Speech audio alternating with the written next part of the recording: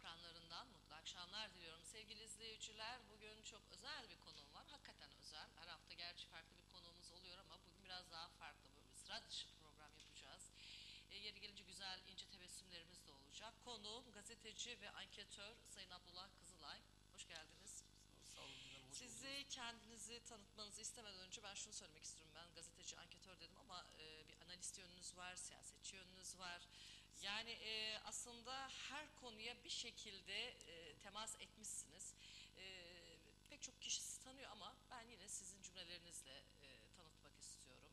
Abdullah Kızılay kimdir? Evet sağ olun. Teşekkürler. Yani ö- özellikle e, şu anda ekranı başında olan e, internete dahil dünya genelinde şu anda bizi yani izleyen e, arkadaşlara bir müjdeyi vereceğim. Kesinlikle pişman olmayacaklar. Şimdi bu gece e, bu akşam çok şok bilgiler vereceğim. Şok analizler vereceğim. Hiçbir yerde duyulmamışım. Yani benim analizlerim, tespitlerim bile hani efendim sıra dışı. Hani böyle klasik değil. Ama gerçekçi. Yani şimdi mesela ben her seçim öncesi bir analiz, bir anket yaparım. Yani yarın öbür gün bir insanın karşına bakınca hani e, bir nevi mahcup olmamam lazım. Son seçimde de bunu gördük. Benim öncelikle mesleğim aslında ben esnafım. E, kozmetik imalatı yapıyorum. Diyarbakır'ın karanlıkta kilitli bir e, Diyarbakırlı bir genç çocuğum diyebilirim. Yani tabii şimdi yaşandık. Efendim gazeteci derken bir yazı yazmasını tam bilmeden efendim gazeteci oldum. Bir virgül önemi bilmeden bir araştırmacı efendim gazeteci olduk. Anketör derken genel itibariyle anket yapanların herhangi bir siyasi partinin bir menfaati doğrultusunda, bir emri doğrultusunda anketler yapıyor. Benimki kesinlikle yani geçmiş seçimlerde de çok e, belli açık. Yaptığım anketler yüzde yüz doğru çıkmış. Yani Evet. e, doğru yakın e, söyleseniz bile ben bunu kesin Oraya geleceğiz. Oraya geleceğiz. Kendinizi bu şekilde kısaca tanıtıyorsunuz. E, Daha fazla Ancak- derine inmenize gerek yok. Tabii ya Ee, peki ben şöyle girmek istiyorum. Seçime ve e, anket çalışmalarına dönmeden önce sizin bir siyasi yönünüz de var. Ee, biz bağımsız bir aday olmuştunuz değil mi? Evet, evet. 2011 seçimleri miydi? Evet, evet Evet. Yani şimdi onu açıklayayım. Öncelikle yani bazı eksileri gördüğüm için oldu. Şimdi sonuçta Yani e, Diyarbakır'da herhangi Diyarbakır'da- partiye e, sırt vermeden bağımsız aday olmak zor. Benim gibi birisi zaten hiçbir parti olamaz ki. Yani Neden? ne ben olurum ne bir parti beni kabul eder. Neden sizi kabul Şimdi bütün gerçekleri partiler? görebiliyorum. Şimdi bütün gerçek hani kral çıplak diyorum. Varsa bir yerde eksik ben babamı bile affetmeyen bir şahısım. Hangi parti başına bela alır ya? Siyasetçiler cesaretli insan istemiyor mu? Maalesef, maalesef. Yani özür dilerim maalesef siyasetimiz de genelde genel anlamda ranta bulaşmış, çıkara, menfaata, özellikle parası olan kişi siyaset yapıyor.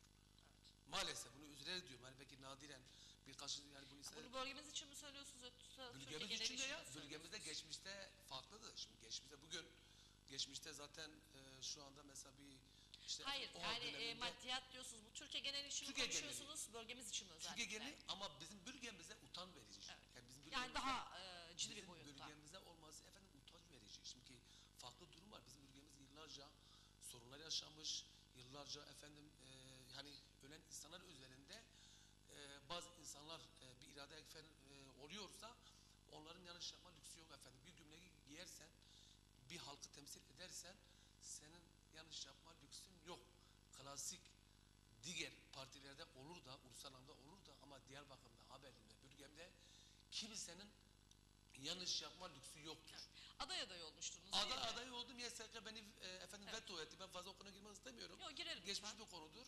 Zaten benim de hani meclise gidip e, benim Belki bilmeyen birisi- izleyicilerimiz vardır. Şimdi e, şöyle diyeyim ben efendim zaten e, Diyarbakır Esnaf e, Oda Başkanı olarak yani Diyarbakır Tuhafı Parmak e, Oda Başkanı olarak YSK'nın seçtiği bir esnaf oda başkanıydım.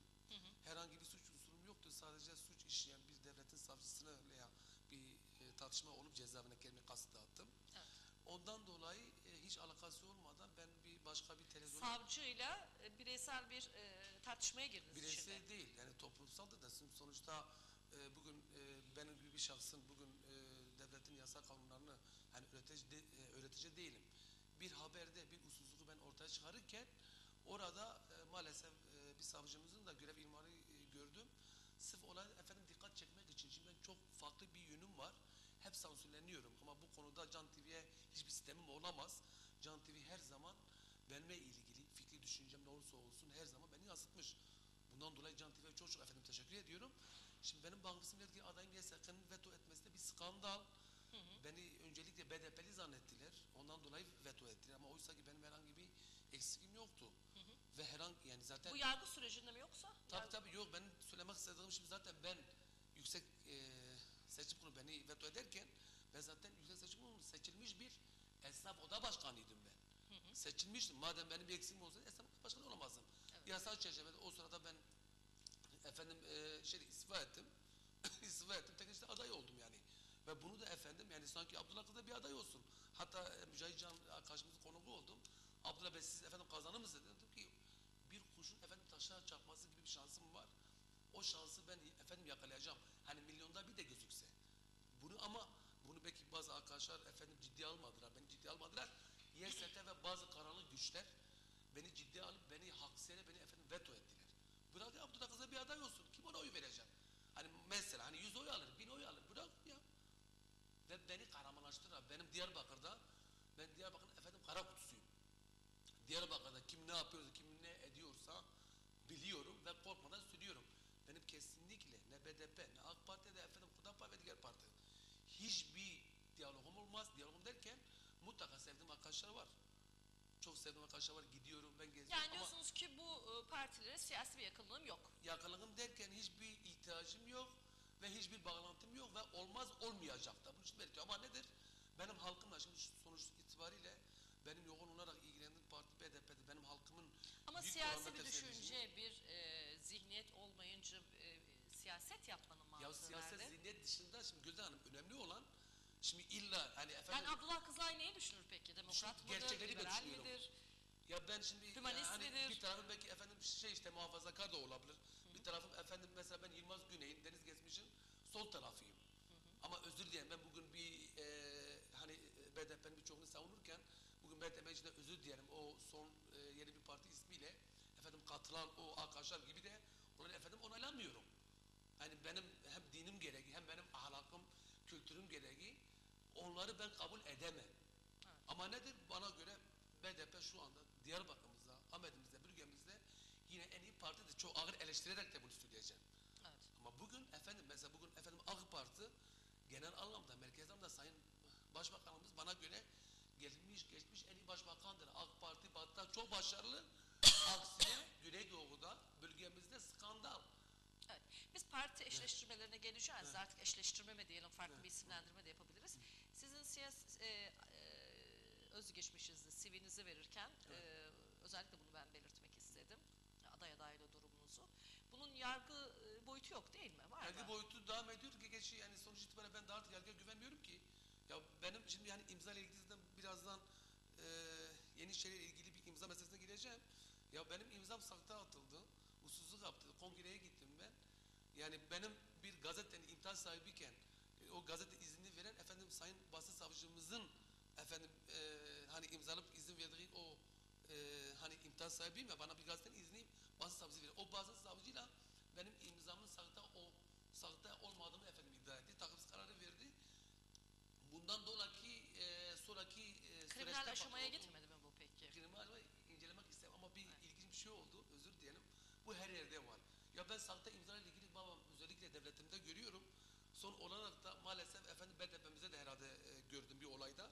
Birazdan o konuya ben değineceğim. Şimdi kriminal inceleme gitti. Şimdi sahte imzalar atılmış. 31 Temmuz 2002 yılında atılmış. Yani şimdi 2015'te zaten hayatım efendim film oluyor derken şimdi 5 yıl efendim süre aşımı var. Sizce kriminal inceleme ne zaman buna karar verecek? 31 Temmuz 2002 yılında sahte imzalar atılmış. Savcı Bey takipsiz kararı veriyor. Benim vurduğum uç aynı günde uç defa vurduğum kendimi Diyarbakır Amel Zindanı'na gururla attığım o, o cezaevine efendim kriminal inceleme Ne kadar kaldınız? e, efendim 48 gün. Evet.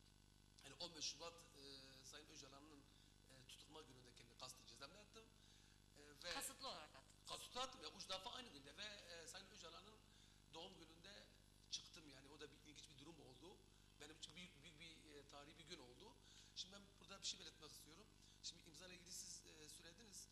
Maalesef Abdullah Kızı olarak Türkiye Cumhuriyeti'nde maalesef hiçbir adalet görmedik. Bak ülkemizde AK Parti iktidarıyla çok güzel gelişmeler oldu. Özellikle efendim hukuk konusunda geçmişteki o zulüm bölgemizdeki o vakan kanla ilgili çok, çok güzel gelişme ama Abdullah Kızılay maalesef hiçbir zaman adalet görmedi. Ne AK Parti'den gördü, ne devletten gördü, ne BDP'den gördü, ne hiçbir yerden gördü. Abdullah Kızılay'ın sanki bir sihir var. Kilitliyim ben ya. Az önce çok açıkça söylediğiniz için mi bir, biraz da öyle doğru her zaman söylerim. Sansürsüz konuştuğunuz Yani biraz için mi? e, anormalım ya. Deliyim yani. yani deliyim çılgınım ha. Gerçeği gören mi deliyim? Şimdi çoğu degili bir abimiz de bir ara bana bir şey dedi. Ya bizim bazı hani delillerde demek ki bir şeyler var. Hani bir e, hani bizim görmediğimiz, bizim bilinmediğimiz bazı şeyleri görüyorlar. Ya ben bazen Allah'a kurban olayım. Yani kendimi bir şeyle ben ilan etmiyorum. Ya seçim öncesi anketlerden, seçim öncesi analizlerden öyle bir analiz ediyorum ki hiç tanımadığım kişi hakkında yorum yapıyorum öyle çıkıyor ya. Bazen ben bile offside oluyorum ya bu kadar olmaz ya nedir neyin nesidir hani. Yani şimdi benim e, hani kendi konumu önce bir bitireyim. Evet. Zaten efendim Ahim'de benim tazminat konusu var. Ahim'de de bir şey beklemiyorum. Abdullah Kızılay yaşadılar haksızlık zaten bu 2015 yılında bir sinema filmi olacak. Ama Abdullah Kızılay'ın gerçeğiyle herkes utanacak. Maalesef devletimin yetkilileri utanacak. Efendim benim e, BDP'li siyasetçilerim utanacak. Ve kendime Diyarbakır'da insanım diyen herkes benim acı gerçeklerimle efendim utanacak. Aç karnına, kıt imkanımla Evet. kiramı veremezken Diyarbakır'da bak yalan değil 4000 kişi iş bulmaya vesile oldum ya. Diyarbakır'da iş bulmak benim mi sorumlumdur? Bunu merkeze almada efendim bunu kim yapacak? İş bulma kurumumuz. Bunu yapacak efendim devletimiz yapacak. Bizim paramızla, bizim vergimizle içtiğimiz suyun bile vergisi var. Yani sonuçta giydiğimiz bir elbisenin bile vergisi var. O bizim paramız. Bizim paramız bugün Cavcut efendim Diyarbakır'da efendim e, edilirken yerel anlamda da bizim siyasetçilerimiz de maalesef genelde belki haklı olarak siyasi alana daldığı için de bir eksik oldu. Abdullah Kızı olarak altın harfleri yaz, yazmışım. 4 bin, e, 4 bin yakın kişiye iş bulma vesile oldum. Evet. Biz asıl efendim konumuza girelim anketlerle ilgili. Arkadaş Son cümleyle hazırsa- asıl konumuza gelmeden Evet. şunu da söyleyeyim sonra. Ee, dediniz ki dediniz ki ahimden beklemiyorum. Neden? Avrupa İnsan Hakları Mahkemesi'nde ben burada öyle önemli kararlar Şok bir şey verildi daha ki. burada diyeceğim. Şok bir şey. Bak bu, bu programımız da şok bir program oluyor. Siz de bu arada şimdi, şimdi ben 2005 yılında SİHA'dan ajanlık teklifi aldım. 2005 yılında ajanlık teklif, teklifini reddettim diye bir yaşam ölü oldu. Bu ciddi bir açıklama ama. Ay ciddi derken 2005 Yani yılında ve derken- riskli bir açıklama yapıyorsunuz. Riski ya o riskin en kralıdır ya. Özür dilerim biraz diye bak şey diyorum. Ajanlık teklifi alırken bana bir telefonla geldi. Halkı teklifi kabul edebilirim ya. Ne devlet? Devletim yok. Halkçı geçinen siyasetçim yok. Allah yolunda giden insanlar da yok. Bir gencim, bir gazete bile çıkaramıyorum. Gerçeği paylaşmak için bir gazete çıkarıyorum ve orada demek ki efendim e, köşe yazımda e, Metal Fırtına adlı bir kitapta bir arkadaşın haberiyle orada demek ki dikkat çekiliyor. Biraz ekonomik olarak e, hani para önem vermiyorum. Kendimi çok zor durumda ben bırakıyorum. O sırada bir e, efendim bir temas oldu. O teması reddettim diye bana e, telefonla Abdullah Kızılay sen bir ölüsün. Sen artık istediğin hiçbir şey olmayacak. Benim içimde artık macera başladı. O ki istediğim olmayacak ya. Ben bağımsız milletvekili adayı niye oldum? Zaten olmayacaktım. Zaten veto edilecektim. Elime bu bardağı alsam bardak olmayacak. Yani gerçekten ha şimdi çok farklı şeyler yaşadım. Şimdi ben anlatırsam program etmez. Yani Gülden Hanım zaten Abdullah Kızılay'ın kim oldu efendim? Google'de var. Şimdi Diyarbakır'da e, çok özür dilerim ben size saygı duyuyorum. Çok da gelen arkadaşlarımız da var. Google'a Yani- giremeyen izleyicilerimiz vardır şimdi, amcalarımız var, Program dedelerimiz vardır. Evet. kendi- Abdullah evet. Kızılay'ı bırakalım. Böyle bir e, sizi ilk önce tanıttık e, ama Bitmez tabii. tanıtarak biz e, kişiliğinizi, kimliğinizi burada anlatarak açıklamalarınıza geçmek istiyoruz. Çünkü havada kalacak. E, şimdi bölgemize dönelim. Evet. Ee, özellikle e, sizin e, önceki e, yerel ve e, genel seçimlerdeki tespitleriniz oldu, Evet. e, anketleriniz oldu ve bu- yüksek bir oranda bu çıktı. Bunu bizimle paylaşır mısınız lütfen? Size bunu yüksek oranda söylemeyin. Ya yine ya arkadaşlar yani yüksek oranda diyorsunuz. Ya benim seçim öncesi yaptığım anketler sonuçlar yüzde yüz. Hani daha önce de bir arkadaşla da programa katıldım. Abdullah Bey siz, tebrik ediyorum. Bunu nasıl e, yani diyorsunuz yüzde yüz? Sizi şimdi e, arkadaşımız geçmişe ilgili bir şey yayınlarsa Arkadaşımızdan rica ediyoruz VTR'mizi özellikle hazırlasın. verdiğim bir anket o sadece bir e, kare verirse efendim başbakana e, sayın başbakana verdiğim anket seçim öncesini bir de e, hani resmi yere de paylaşıyorum. Çekincem yok. Allah'ın gördüğünü, Allah'ın bildiğini. Kimseden saklamam. Hiçbir partiden saklamam. Kapı merkezi açık. Evet. Kimsenin kapısına gitmem ama benim kapı merkezi açık. Halkın faydası için gerçek anlamda ne gerekirse ben yine hazırım her zaman. Şimdi olmazsa birazdan arkadaşlar da hazırlar. Biz konuşurken hazırlanırız Evet. zaten. Şimdi söylemek istedim anketlerim, tespitlerim. Evet. Siz dediniz ya yüzde yüze yakın falan dediniz. suç kabul ediyorum çünkü yüzde yüz buldum. Yani son özellikle efendim şu anda gündemimiz 30 Mart yerel seçimse son yerel seçimde ben efendim Diyarbakır'da seçim sonuçlarını yüzde yüz ihanetleri yüzde yüz buldum. Eksikleri yüzde yüz buldum. Yani Diyarbakır'da DTP'nin alabileceği oy yüzde 65, AK Parti yüzde 31 ve ha şu aynen bu bu sadece sabit Tamam kalsın. bunun üzerinden gidelim Özür dilerim. Ben e, şunu da Sayın e, Başbakanımıza 15 Şubat DTP İl Binası'nın önünde polise dayak yerken gazeteci olarak e, dayak yedikten sonra yaptığım anket bunu diyorum. Sayın Başbakan Diyarbakır e, ziyaretinde 23 Şubat olması lazım. Sayın Başbakan'a ben o anketi verirken e, efendim DTP'nin oy oranı %65 olacağını, e, AK Parti'nin efendim oranı %31 olacağını ve altta e, aslında benim getirdiğim bu paylaşım çok net değil. Orada da Diyarbakır halkının yüzde elli üzeri Sayın Öcalan'ı sevdiğini ve Diyarbakır halkının yüzde ellisinin PKK ile aynı çizgide olduğunu ben çok açık belirttim. Sayın Başbakan'a. Sayın Başbakanımıza analizlerinde ayrıca özel bilgi verdim. Hazro'yu tek Bizzat efendim, mı verdiniz bunu? bizzat yok efendim korumasına efendim verildi sonuçta. O benim sorunum değil. İncelenmiştir. Zaten diyorsun. çok özür dilerim. Sayın Başbakanımın çok beceriksiz danışmanları da var. Özür dilerim. O, e, o e, analizin içinde mesela bunu ben halkla paylaştım. Kendi halk ben aldığı gazetemde 25 milyaj gazetemde aynısını paylaştım. Bir de Diyarbakır'da bir ihanet derken özür dilerim. Benim şimdi ben bir iradeye saygı duyuyorum. Tamam. Bir e, bir toplumun bir efendim e, maalesef acı efendim gerçekleri var ama o gerçek o acı gerçeklerle o zulmle doğan bir güç var. O zaten o güç olmasa da şu anda belki bu sürece gelmezdik. Ana dilimizi konuşmazdık. Ama iyi yerin içinde mutlaka her dönem bir kötülük oluyor ya. Ya ben geçen yerel seçimde Diyarbakır'da bak Diyarbakır'da Hazır ilçesinin AK Parti alabileceğini ve Hazır'da DTP'nin oyu 850 olacağını seçim öncesini buldum. Peki Hazır'da yerel seçimde oy oranı kaçtı? Yani pardon e, DTP'nin aldığı oy 851 değildi. 850'di yani. Ben bunu yüzde yüz efendim seçim öncesi Sayın efendim Necat Atalay çok değerli e, DTP il başkanımız çok sevdiğim arkadaşım KCK'li şunda da efendim e, Diyarbakır cezaevinde onunla da paylaşmıştım. Gazetemde halk ben aldığı tarafsız, parasız, menfaatsiz bir gazetede gerçekleri paylaştım ama hala beni görmeyenler var. Bak bu, bu seçim yaklaşıyor, anket yapıyorum yine.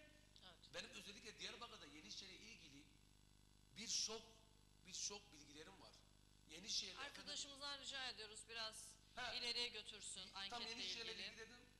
E, Yenişehir'le ilgili dedim de Yenişehir'le ilgili de şimdi e, geçen seçim öncesi zaten bütün e, belediye başkanlarının e, efendim sonuçları benim gazetemde Ha sonuçta zaten herkes biliyor. Diyarbakır'da efendim e, DTP kazanacak diye. Bu seçimde herkes biliyor. Mesela Sayın e, Selim efendim Kurbanoğlu e, biz bir ulusal televizyona çıkmadan önce Sayın e, Başkanımız efendim e, seçim sonuçlarını net olarak ilk kez benim sahibi olduğum gazetemde gördü. Programa katılmayı çıktık. Şimdi asıl konuya göre ben Hazro e, gerçeğini anlattım ya. Mutlaka bizim efendim BDP e, yani BDP'miz diyeceğim. BDP daha yakınım. Benim halkım yakın olduğu için şimdi ben yüzde yüz halka yakınım. E, benim halkım da yüzde elli oranda yüzde elli üzerinde BDP yakın olduğu için benim yani asıl siyasi görüşüm odur. Yani bu seçimde BDP'nin yine bir hatası var. Yenişehir'de seçim öncesi analizlerim ve ne ilginçtir ki seçim sırasında çok üzülerek diyorum bunu. Şimdi sonuçta e, yani belki bir bazı arkadaşlar bazı tarafa çekilebilir. Geç o ekrandaki efendim Ekim ayının e, Ekim ayının e, Evet. aylık anketidir. Yenişehir'de BDP bu mantıklı olsa efendim kaybediyor. Bu en son Ekim ayının mı? Evet, o Aylık mı sizin anketleriniz? Evet aynı şimdi o e, hani Ekim ayında BDP'nin yüzde 41, AK Parti'nin yüzde 19, efendim Hudapar'ın yüzde 17. Bir de efendim e, Karaslar yüzde 12. Bir de şey efendim Degişkenler. Degişkenlerin yüzde 9. Degişken derken yani hani iki parti arasında e, kalan e, efendim kesimler de var. Bu benim çok özel bir tespitim. Şimdi ben asıl e, konuya gelirim. Benim yaptığım bütün anketler, BDP Diyarbakır'da merkez ilçede rahatlık alacağını belirttim. Belirtirken Yenişehir hariç. Yenişehir'de bir sorun var. Selim Başkan Neden? Selim Başkan çok sevdiğim bir başkan. Gerçekten yani saygıdeğer birisi. Kendisi de beni seviyor. Kendisine hiç alıp veremediğim de yok. Yani herhangi bir alıp veremediğim yok. Yani ben e, Yenişehir'de kongrede ben şimdi bütün e, geçen hafta pazar günü ben BDP'nin bütün delegasyon seçimleri takip ettim ben. Kayapınar, Yenişehir. Ben aslında Kayapınar'da bir eksik olabileceğini ben efendim düşünmüştüm. Şimdi niye? Daha artık seçimler rant olmuş. Özür dilerim. Geçmiş DTP, geçmiş HEP, geçmiş gelenek, BDP'nin geleneğinde gelen o sırada aday bulunamıyordu. Kimse aday olmadı. Şu anda çok özür diyorum, çok özür diyorum ve e, bazı görüntülere utandım. Ha, sonuç itibariyle yine BDP, BDP'miz yine halkın zaten partisi iradesi bizim partimiz. yine en olumlu parti, yine en iyi parti, yine oy Ama şu an parti. çelişmiyor musunuz? Bizim partimiz diyorsunuz. Halbuki az önce dediniz ki biz e, ben Tarafsındaki bizim hiçbir parti partiye zaten. yakın değilim. Yakın derken zaten yakın değilim. Yani şu anda benim halkımın yüzde ellisi üzeri. Benim asıl taraflığım, asıl benim partim halktır. Bugün benim yüzde elli üzerinde halkım.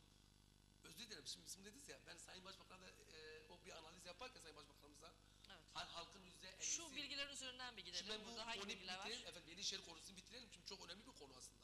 Yani BDP'miz e, şeyle Biz şimdi geçmişin gelenekle aslında tek tek e, adayları değineceğiz. Ona şimdi değinmeyelim. E, tamam. Biz anketler üzerinden tamam, o zaman gidiyoruz. ekran. Arkadaşımızdan rica ediyoruz. İbrahim tekrar Çok- efendim. Şimdi özür Tamam. dilerim. Burada e, şeyle ilgiliydi bu. Bizim e, efendim sanal anketimiz. Sanalda mesela internete efendim giren arkadaşların yaptığı oylardır. Yani mesela orada e, belediyeler ne yaptı? İnternet üzerinden sağlıklı mı anket Çok sağlıklı değil yapılması? anketler kesinlikle. Zaten benim normal anketimde zaten efendim Hudapar yüzde 35 40 gözüküyor. Hayır, e, bilgisayar ya internet üzerinden yapılan anketler. Çok Değil sağlıklı mi? olmasa Evet. da bu benim dekişik anketlerim sağlıklı çünkü zaten bir kere oy kullanan artık oy efendim kullanamıyor. Kesinlikle. Yani bir bilgisayar bir yerde oy kullanamıyor. Şimdi burada Akas Sabıka Bazı Belediye efendim neler yap, yapmalı? Burada mesela siyaset ve e, hizmet var, şıkkı var. Evet. Sadece hizmet şıkkı mesela ön planda. Yani artık bu süreçten sonra zaten siyasi alanda bu Yani artık bölgede halk siyaseti biraz arka plana çıkardı. Hizmet mi istiyor? Aynen aynen artık hizmet istiyor. Özellikle bu karedeki sonuçta da o çıktı. Yani halk hizmet istiyor. Ee, ayrıca e, her şurada Diyarbakır'ın başlıca sorunları ne? Daha önce Kürt sorunuydu. Yani odur. Şu anda başlıca sorunu Diyarbakır'ın ahlaklı bir çöküntü var. Uyuşturucu var, farklı şeyler var. Evet. İkinci sorun işsizlik. Geç benim forum işsizlik. Mesela benim anketimde efendim ahlaklı çöküntü çok çıktı bir. Yani e, ön planda. Evet. Çok ciddi bir anket bu. Bak bu ne kadar sanal olsa bile- Yaş aralığı ne bu anketlerinizde? onu Belirtiliyor tam mu? bilemiyorum. Genelde gençler giriyor. Genelde bir kere giren... Ankete girenlerde bunu belirtmiyor musunuz? Hani hangi yaş grubu? Yok hangi- o, evet. o kadar. Ya ben bu- her şeyi yapıyorum. Ben şimdi tek başıma gireniyorum. evet. Kimseden param kimseden emir almıyorum. Kiramla uğraşıyorum. Başka şeyle uğraşıyorum. Yani şimdi ondan dolayı şimdi ayrıca arkadaş diğer şeye geçsin. Ha, burada e, en iyi e, milletvekilimiz kim? Diyarbakır'da. Evet. Kimler seçilmiş? Hiç kimse hepsi başarısız ön planda. Birinci Altan Tan, e, ikinci Sayın Bakanımız da e, e, efendim Cuma İşten. Peki yüzdelik oranı ne? Efendim? Yüzdelik oranı Ya ne? yüzdelik olarak özellikle büyük oranda efendim e, şey mesela e, e, hepsi başarısız. Şimdi belki orada siz demişsiniz efendim niye oya Eronat yok? Ben Sayın Eronat'ı milletvekili olarak görmüyorum. Yani Ya bu bir- kişiyle bir şey olarak e, vermeyelim. Yok anlatamadım. Yani Hani e, hizmetler niye- üzerinden Benim har, söyleyelim lütfen. harbianket.com sitemde niye Sayın Eronat yok diye yani derseniz ben maalesef Hani görmüyorum. e, ben böyle görmüyorumdan ziyade yaptığı çalışmaların e, Şimdi- yetersizliğinden dolayı anlatın lütfen hangi çalışma. değil zaten Evet. o şu anda milletvekili olarak zaten benim oy verdiğim seçilmiş bir Hatip Dicle vardı. Şu an zindanda benim milletvekilim o. Ha o olmadı. Zaten YSK beni haksıyla veto etti. YSK beni haksıyla veto olmasaydı ben olabilirdim. Veya da efendim e, Sayın e, Salim Esaruri efendim olabilirdi. Şimdi sonuçta bir hani e, 22 küsür de yani e, benim anketlerimle Sayın e, Selim e, Mehmet Salim Esaruri yani 30'un üzerinde bir oy aldı. Hayır ben şunu Onu söylemek istedim. Biz insanların kişisel e, şeylerine girmeyelim lütfen. Olabilir Hani iddia e, o, o zaman sizin ya ben iddialarınız olsun kişisel lütfen. şeyine Evet. girirken- İddialarınız olsun bu. Tamam. Evet. İddia ile ben bunların hepsi gerçek. Ben asla asla bir insana iftira atmak en büyük alçaklık. Şundan diyorum. dolayı karşı tarafa söz hakkı Tabii, doğuyor çünkü iddia olarak Saygı seviyorum. Yok, Evet. Kimse benden alınmaz.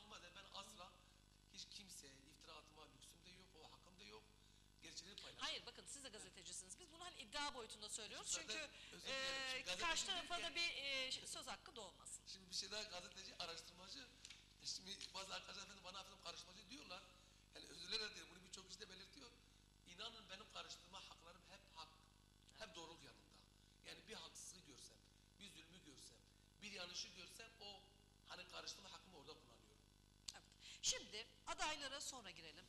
Partilerden gidip sonra adaylara tek tek aday isimlerine geçeceğiz.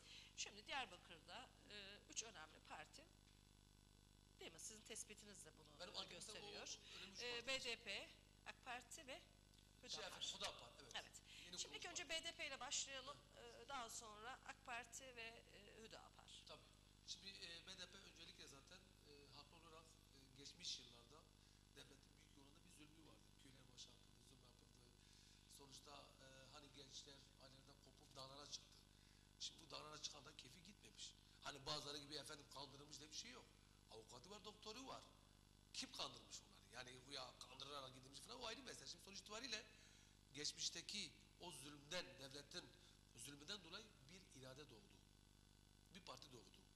Ve o irade sayesinde şu anda bunu itiraf edelim, bunu herkes bilsin. Benim asla, benim çok saygı duyduğum bazı değerler var. Bazı e, hani aynı fikirde olmadığım şeyler olsa da ama bugün herkesin buna saygı duyması lazım. Bugün Çünkü herkes aynı şeyi düşünmek zorunda değil. Aynı şeyi de yaşamak zorunda değil. Ama bence özellikle saygı duyması dilerim, lazım. bir Kürt olarak Hem e, sosyal yaşantımızda hem siyasi hayatta herkesin birbirine saygı duyması lazım. saygı duyması lazım da bazı gerçekleri efendim bilmeli. Yani bugün ben hani BDP'nin e, veya efendim başka yerlerin iyi tarafını anlatırken ama kötü tarafını da ben söylerim. Ya bugün beş parmak bir e, hani değil diyoruz. Ben bunu söylerim ben. Şimdi sonuç itibariyle ben bunu anlatırken yani biz Bu öncelikle seçimde BDP'yi isim olarak girmeyeceğiz. Aday seçi. Girin yok, ben Yok, rahatım onu, ya. Hayır hayır. Onun sonraki şeyimizde. Konuyu hemen e, bitirmeyelim. Ee, oy oranını ne görüyorsunuz? o yüzden ben seçim yani öncesi şimdiden diyorum BDP'nin özellikle e, 23 Mart Nevroz finali. Şimdi e, malumuz o hani 30 Mart yerel seçim olacak ya. Şimdi 23 Mart'ta hani Nevroz hafta sonu pazar gününe gelecek. Büyük ihtimalle şimdi bazı arkadaşlar da biraz eleştiriyor. Sen kimsin de kendi kendine mi söylüyorsun veya karar mı aldın? Sen efendim e, BDP'nin öz yetkili misiniz? Şimdi 23 Mart'ta BDP'nin final bir mitingi Ahmet'te olacak. Evet. Ama o havayla, o mitikle Nevroz BDP süpürecek. Yani yüzde elli üzeri o AK Parti'nin adayı kim olursa olsun alır. Önce bunu belirttim ama sonuç itibariyle istediği oyu almayacak. Ha burada bunu biz belirtelim. BDP istediği oyu bu seçimde almayacak. Çok çok düşük alacak. Hani mesela BDP son seçimde 165 almışsa bazı arkadaşlar yüzde yetmiş Yani bir Nevroz, kesinlikle Nevroz'daki o havaya rağmen Evet. alamayacak diyorsunuz? Evet evet zaten Nevroz havasıyla biraz yani havası derken özür dilerim. Şimdi sonuçta zaten BDP'nin çok net bir oy oranı var. Net o var. O oran zaten o oran zaten rahat kazanır. Ama bugün efendim o oranı anlatırken bugün efendim yeni şeyde sıkıntı var. Yeni şeyde sorun var. Ben şimdi anket analizciyim. Hiç Yani bilmediğim- sadece Yenişehir'e mi alıyorsunuz yoksa çözüm sürecine başbakanın yaptığı katkıdan dolayı mı oyların düşeceğini düşünüyorsunuz? yok, Düşünerek şimdi sonuçta böyle bir efendim Hodapar bir gerçeği var ya. Şimdi efendim Çözüm Hodapar sürecinin bir katkısı olduğunu katkısı çok olmaz. Hani mutlaka katkısı var da şimdi hani AK Parti son seçimde yüzde 31 aldı. Asla yüzde 31 efendim bulacak mı? Yok. Yani bugün Nihat, e, Sayın Nihat Hatipoğlu bile Büyükşehir'de olsaydı bile belki yüzde 31 zorlaydı. Şu anda kim olursa olsun yüzde 31 AK Parti asla bulmayacak. Yani benim bütün analizim, bütün analizim şu anda AK Parti yaptığım arkadaş onu yayınlarsa o anket sonucuyla birlikte o sabit kalsa. İbrahim Lütay'ını rica edelim. Efendim Kasım e, 2013. Evet. Ha, şu, şu burada sabit kalsın. Zaten şu anda efendim, şu anda efendim AK Parti yüzde 24 yani yüzde 19 değil. Bu başbakanın ziyaretiyle birlikte gerçek oranda mesela Bu burada. bölgemiz için mi? Yok bu sabit bölgede ben Diyarbakır, ben bölgeye bir şey diyemem. Yoksa ben Diyarbakır için geçerli. ben he Diyarbakır için şu anda merkez ilçeler dahil e, bir genel itibariyle mesela bugün Bağlar'da BDP yüzde mesela 60 küsur alır. Yenişehir'de mesela kaybetme riskiyle birlikte mesela az bir oran alır. Yani ben bunu genel itibariyle Evet. Diyarbakır'da BDP'nin oy oranı şu anda Kasım ayında yüzde 44. AK Parti yüzde 24 bu sabit kalsın ha. Efendim Hodapar yüzde 14, Karaslar burada belirtmişim ben. Karaslar şimdi çok önemli. Şu anda mesela efendim işte hani Karaslar yüzde 10, değişken yüzde 6. Hani daha e, önümüzdeki Yüzde süreçte. 20'ye yakın bir dilim hala Yüzde beklemede. 16. Hayır topla ortalama yüzde 20'ye yakın oluyor aslında. Tabii tabii yani iki kiloda yüzde yirmi haklısınız da bu da aslında AK Parti'nin adaylarına bağlıdır. AK Parti'nin adayları iyi olursa mesela şimdi AK Parti'nin Yenişehir'de adayı gerçekten iyi olursa yani eğer bu benim anlatacağım delegeyle ilgili bu efendim Ye- Ye- Yenişehir'deki bu eksikliği eğer giderilmezse Yenişehir'de AK Parti sürpriz yapabilir diyorum. Ama onun dışında hiçbir yerde AK Parti'nin hiçbir yerdeyken merkez içeri diyorum. Ben diğer içeri ilgili ben yorum yapmak istemiyorum. Yani sonuç böyle hani AK Parti'nin adayları iyi olursa genel itibariyle genel olarak AK Parti'nin yani oy oranı yüzde 24 şu anda. BDP'nin yüzde efendim 44'tür. Hudapar'ın yüzde 14 söyledik. Yani bu BDP'nin bu değişkenle Karaslar'ın yarısını alsa bile yüzde efendim 52. Yani BDP Nevroz havasıyla e, o etkiyle adayın adayın etkisiyle zaten adaylardan e, hepsi Yani belli daha olmuş. önceki seçimi başarısız yakalayamaz diyorsunuz. Yok kesinlikle yakalayamaz. Bir de burada bir e, efendim Hudapar'ın gerçeği var. Şimdi efendim Hudapar'a göre yüzde otuz üzerinde oy alacağını iddia ediyorlar. Yani iddia ederken hani son sanalda bir e, hani ciddi olmayan bir anket sitesiyle biraz efendim Hudapar hani belki biraz bir havaya girdi. Yani çok yanlış bir gaza geldi. O gaza gelerek zaten efendim hedef oldu. Zaten Hudapar'a bağlı bazı denekler zaten birçok saldırıya uğradı. Yani bu da hoş bir olay değil. Ben size öncelikle bu seçim öncesi, aylar önce Diyarbakır'da BDP ile Hudapar arası olası bir saldırılarla ilgili olası olayları önlemek için kendimi tarafsız bir şekilde kenara çekip hakem oldum. Ama sonuçta ne kadar tarafsız olsam bile bugün ben yüzde 52 BDP'liyim. Yüzde 14 efendim Hudapar'lıyım. Yüzde 24 ben AK Partiliyim. Yani ben çok farklıyım. Ya şimdi bunu belirtmek için bazı arkadaşlar da BDP'li arkadaşlar mesela beni eleştiriyor. Sen AK Partili misin, Hudaparlı mısın? Hudaparlı'yı eleştiriyor, sen BDP'li misin? Ya ben kimse değilim kardeşim, ben halkım. Yani bu iki uç yüzlükte yanlış anlamayın ha. Evet. Şimdi, Peki. Hüdapar'a geçelim. Evet. Hüdapar e, niçin bu kadar çok büyük bir Hüdapar için oran çıkardınız? Onun için gerçek bir orandı. Yani onlar sonuç beklemedi. Yüzde on dört.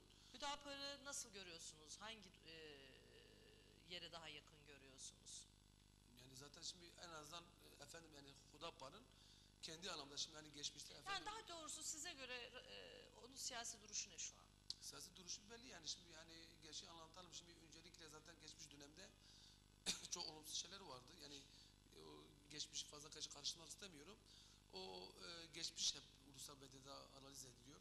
Özellikle bizim e, BDP tarafından çok e, ön plana alınıyor eleştiriliyor. Bu yanlış buluyorum. Sonuç itibariyle herkes de demokratiktir. Bizim bizim BDP'nin bir hatası var BDP ve düşünce hatası var bizden olmayan sanki değildir gibi çok farklı bir açı var bazı ihanetler yapılırken hesabı sorulmuyor. Bazı hataların hesabı sorulmazken yok efendim AK Parti'de oy veren böyle böyledir. Yok efendim Hudapar'a oy veren böyle böyledir. Çok farklı bir yanlış bir e, eksiklik var. Bu ayrı. Hudapar sonuç itibariyle bana göre Diyarbakır'da seçime girmesine ben çok çok sevindim. Sonuçta bir farklı bir yani düşünce derken İslami açıdan kendi açıdan olarak efendim Hudapar yani Allah'ın partisi Yani olarak o e, Hüdapar biraz Kürt İslam sentezi mi var? var var var ama gerçek olarak da tam Kürt şeyini efendim savunmuyor. Yani normal var hani orada herhangi Yani bir biraz BDP'nin oylarını çürütmek için mi? Şöyle de e, bir kere ben bunu burada şok bir şey diyeceğim. Hudapar'ın bir kere seçime girmesiyle otomatikmen otomatikmen şimdi diyorum BDP'nin yüzde sekiz gibi oyları Evet. eksildi. Ha dersiniz ki Şunu mu e, yaptı Abdullah Bey? Yani e, AK Parti'de e, ki e, İslami isimler yani Evet. İslami e, duruşa yakın Kürt Evet. e, kimliğiyle önde olan isimleri bir kısmını çekti yanına. Evet. Bir de BDP'de İslami inancı daha yakın tarafsız kişileri olan da çekti. var ha. Yani hem AK Parti'den hem BDP'den mi Tabii toparlama tabii. yaptı? O vardı ama bir gerçek daha var. Bugün mesela bazı diyor ki efendim BDP'nin bir oyu efendim Hudapar'a gitmiyor. Nasıl gitmiyor gidiyor. Adam komşudur. Adam mesela kimisi var tarafsız. Komşusu, akrabası bir partiye tanıdığı akrabası olunca o düşünce olunca o kişinin Yani bu verebiliyor komşuluk yani. akrabalık ilişkisiyle mi yoksa siyasi var. duruşla mı Yok, alakalı? siyasi duruş yani olarak- orada sembolik birkaç Allah, isimden başka bir şey gelmez. Yok yok şimdi ben bunu derken ben bunu hani bazıları diyor ki efendim bu Hudapar olayı kimden alıyor? Gerçek olarak bir fikir düşünce var ve e, derneklerle gerçekten son yıllarda çok güzel efendim e, Yani şeyde siz başarılı şunu diyorsunuz. yaptı. İslami duruşa yakın, Evet. AK Partileri İslami duruşa yakın, BDP'lileri Evet. İçerisine alan bir parti. Var var. Şimdi onun, onun dışında kendi zaten bunu söylemek isterken şimdi sonuçta Diyarbakır'da hani e, BDP düşüncesinde onu BDP'den çok Çünkü rahatsız olan da var. ama bölgede güçlü bir par- Tabii, tabii. parti bu. Bölge, Türkiye'de güçlü bir parti Türkiye'de değil, değil yok. mi? Türkiye'de yüzde iki üç gibi yani bir Evet. öyle bir yorum analiz etmemişim. Diyarbakır'da e, efendim e, şey Batman'da yine iyidir. Diyarbakır'da yüzde ondur gibi şu anda yani yüzde on e, kararsız yüzde altı değişkenken özellikle bu hani Hudapar'ın alabileceği olan efendim AK Parti'nin şey adaylarına göre yani yüzde üç yüzde dört gibi bir artış olabilir. Evet. Ve efendim iniş olabilir. Yani onunla ilgili ben diyorum. Sonuç itibariyle efendim Yani bu seçimlerde güçlü görüyorsunuz. Güçlüz efendim. Bugün ama yalnız Hudapar yüzde on dörtü e, beğenmez. Bana göre çok büyük başarı. Şimdi bazıları da Hudapar'a yüzde beş oy vermez. Evet. Şimdi bir yeni parti ilk kez antrenman yapıyor. Ama nasıl bu seçimde sandıklarda e, bir nevi e, Hudapar'ın müşahitleri, Hudapar'ın e, Ama AK Parti de AK Parti 2002'de gibi değil. yeni bir partiydi. Evet, Ve evet. b- büyük bir oran mı yakaladı? Tabii tabii ama yok yani Hudapar'da o kadar şimdi bazıları yüzde beş şans vermiyor. Şu anda Hudapar'ın oranı yüzde on dört. İlk e, yüzde on yedi söylesem de özellikle hani yani BDP'nin aşağı yukarı zaten rahat alacağını söylemiştim. Yani yani Hudapar'ın yüzde on dört bile bana göre çok büyük başarı. Evet. Bu seçime antrenman gibi ben bana göre efendim Hudapar'ın yapması gereken benim asıl önem verdiğim RAM Kırgızlık oranına çok ben değiniyorum ya ne de olursa olsun. Hudapar'ın e, çalışmalarında özellikle mesela bu seçimde mesela her e, merkez ilçede beşer altışar tane mesela e, meclis üyesi aldı. Sadece geçmişi ve yeni yapılan yolsuzluk hırsızlık varsa onları takip ederse varsa öyle bir şey vardır maalesef üzülerek diyorum. Üzülerek diyorum. Her yerde kırgızlık var. Her yerde yolsuzluk var. Kimse bana hikaye anlatmasın. Yani Hudapar buna ağırlık verirse gelecek dönemde büyük oranda bir oy alır. Bu buna bağlıdır. Ama bugün BDP'mizle, AK Parti'mizle yani belediyelerde bile mesela bugün AK Partili meclis üyeleri de maalesef bazı yapılan olumsuz şeylere mesela ortaktılar. Zaten burada ortaklar var. Bugün efendim Diyarbakır'ımızda, Ahmet'imizde birçok ortaklıklar var. Kimin eli cebinde, kimin eli kulağında belli değil. Yani şimdi seçim sürecinde halkı birbirine getiriyorlar. AK Parti oy veren yok şudur budur. Hakaretler yapılıyor. Bir bakıyoruz efendim AK Parti'ye bir koltuğa kim getirmiş efendim? E, BDP'li bazı yöneticiler getirmiş. Bir koltuğa getiriyorsun. AK Parti temsilini sunuyorsun. Ve e, hatta e, bu e, yerel seçimde de mesela karşıya çıkacak. Yani sonuç itibariyle arkadaşlar herkes birbirine öncelikle saygı duymalıdır ve bu seçimlerin kesinlikle kesinlikle olaysız Yani geçmesini istiyoruz. ki demeniz şu, yerel seçimlerde e, yönetim aşamasında, belediye meclisinde Evet. her iki partide de bir takım yanlışlıklar yapılmıştır. Yapılmış ya şimdi sonuç Ve buna herkes imza mı atmış? yani sonuç itibariyle imza derken şimdi sonuçta mesela bir e, belediye başkanı Tabii seçiliyor. çünkü belediye meclis üyeleri imza atıyor. Yok imza derken şimdi e, şimdi Gülden Hanım mesela örnek zaten BDP mesela örnek mesela Kalpleri mesela efendim kesin alıyor. BDP mesela şeyde 40 tane mesela efendim şey var efendim meclis üyesi var. BDP efendim 40 tane de mesela örnek 25'ini alıyor. Tamam mı? Mesela e, AK Parti 12'sini alıyor. Diğerini mesela efendim Hudapar alıyor. Bu sefer bazı kararı alınca geç genel itibariyle BDP güçlü olduğu için bütün kararı rahatlıkla yapabiliyor. Ama bir tane meclis üyesi istese benim gibi bir temel ben asla öyle bir niyetim yok olmam da onu ben belirtemeyeceğim.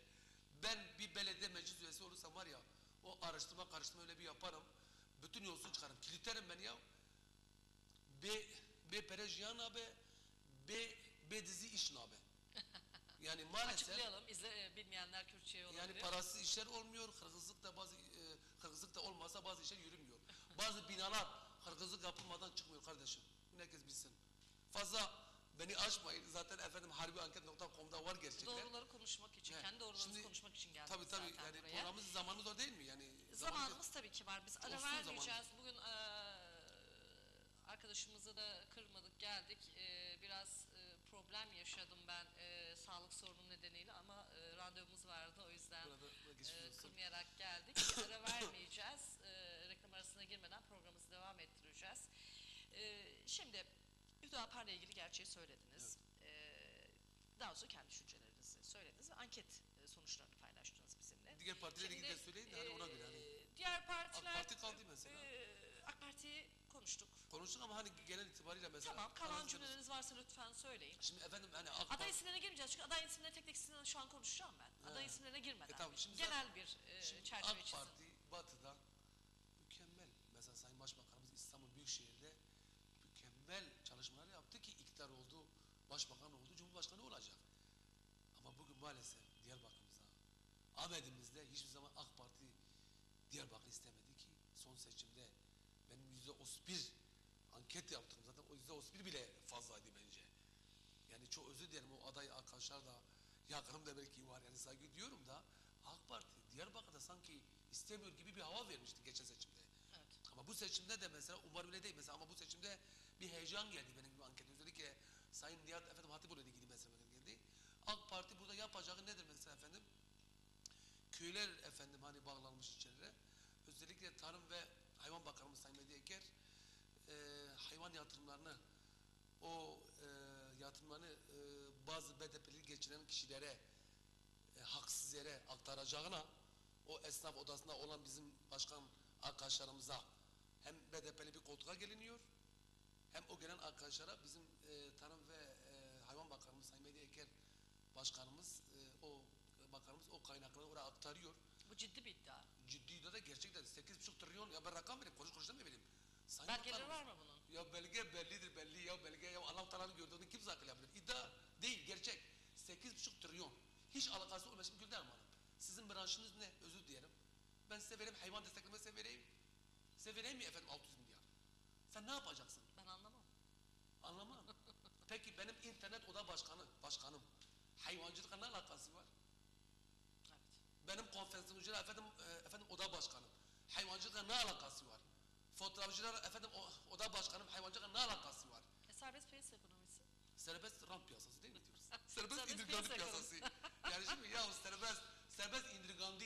Burada hepsi ortada kardeşim. Bugün devletin kaynakları, devletin kaynakları benim Diyarbakır'da, benim Ahmet'imde carcur ediliyor. Kim ediyor? Maalesef e, çok sevdiğimiz siyasi arkadaşlarımız da var. Maalesef burada bir iktidar partisi var. Kimdir hükümet, kimdir devlet şu anda? AK Parti'dir. Diyarbakır'daki bütün kaynakların çoğu çalınıyor. Maalesef. Ama buna kim dur diyecek? Kim buna engellemeye çalışacak? Yerel anlamda halkı temsil eden BDP'li arkadaşlarımız, siyasetçilerimiz niye sessiz kalıyor? Yani bazı alanda sessiz hani kalmasa da mesela Silvan Barajı'na gidiliyor. Efendim protesto edilirken orada da skandala yaşanıyor. Birisi protesto ediyor. E, Protesto e, e, öncülüğü eden kişinin yakını o barajı yapıyor. Yani fazla o derinlere girmeyeceğim de bir real gerçek var. Bugün benim diğer bugün bu televizyonda bugün burada da bir yolsuzluk bir e, usulsüzlük eğer oluyorsa bunun sorumlusu buranın genel sahibidir. Bugün Diyarbakır'ımda yolsuzluk hırsızlık yapıyorsa bunun sorumlusu BDP'mizdir. Niye? Halkı sen temsil ediyorsan buradaki kaynaklar efendim canım sadece ben belediyeyle ilgili demiyorum. Evet. Devletin istikrarla ilgili burada attığı kaynaklar. Ya ben kimim? Ben kıt imkanı kiramı veremezken, elektrik bo borcundan elektrik kesilirken 4000 kişiyi işe koymuşsam bundan utanmalıdırlar. Bunu benim devletim yetkili de özür dilerim utanmalı. Bunu yerel anlamda BDP'li e, seçilmişler de BDP'li e, yönetici arkadaşlarım da utanmalıdır. Evet. Yani şimdi benim söylemek istediğim e, hani AK Parti konuşurken AK Parti şimdi bir de köyler merkezi ilçelere bağladı ya. Hayvan desteklemeyi benim bir zaten internette bir e, şeyim vardı. Malumunuz e, bizim Çınar'ın bir köyünde şey yakalandı leopar. Evet. Yani bana göre AK Parti burada o oranı nasıl hatırlamıyor musunuz? Yüzde olsun. AK Parti Sayın e, Tarım ve Hayvan Bakanımız Mehdi Eker köylülere leopar destekleme verirse yani yüzde olsun bile aşabilir ve e, AK Parti kazanabilir yani. Ama bu çok e, farklı bir durum. Yani orada e, netleşmeyen bir durum var. Yani e, zaten Hayvan destekleme para kaynağı menfaat olmuş seçimler hani indirgandı. ya hayvanlar korunma e, zaten. Nasıl bunu destekliyorsunuz? Ya destek efendim onlar gelir efendim çok hatırla bunlar efendim bunlar yani sonuç itibariyle bugün e- eğer devletin kaynağı hiç alakası olmayan kişilere veriliyorsa alınan yapılıyorsa e, yabani hayvanlar nasıl öldürülebilir? Bu bu Anlatamam şey bile hayvan öldürüldü. Ben diyorum ki yani bir magazin e, açıdan biraz e, espri açıdan anlatıyorum ki diyorum ki o da sonuçta bir hayvan. Sonuçta hani leopar efendim yetiştirme. Leoparın sonuçta efendim nesli tükeniyor. evet. Bari o devletin kaynakları sıradan bazı e, hiç hak etmeyen kişilere verilip alakası kişilere verip indirgandı yapılırken bu çok anlamlıysa Ha bu çok o kadar çok projeler var ki bari böyle kaliteli bir şey için proje üretilsin. Bu projede ya aslında ben şekilde. dalga geçiyorum. Hani Evet. madem anlamsız o para veriliyorsa gerçek anlamda Ama her espride ince bir nüans vardır. İnce olsa ne olsa bu gerçek ben gerçekten kaçırmam ben. Şimdi sonuç itibariyle benim e, söylemek istediğim şimdi ki- kimse halkı düşünmüyor. Kimse o halk perişan, ağaç, sıkıntılı sorunları var. Yani gerçekten şimdi bizim e, hani AK Parti geçelim, BDP geçelim izninizle. Şimdi bizim BDP belediye olarak fena değil. Ama gerçek ben az önce Sayın Bakanımız AK Parti'yi eleştirirken sanki BDP'lerin BDP'li belediyemize haksızlık olmuyor mu?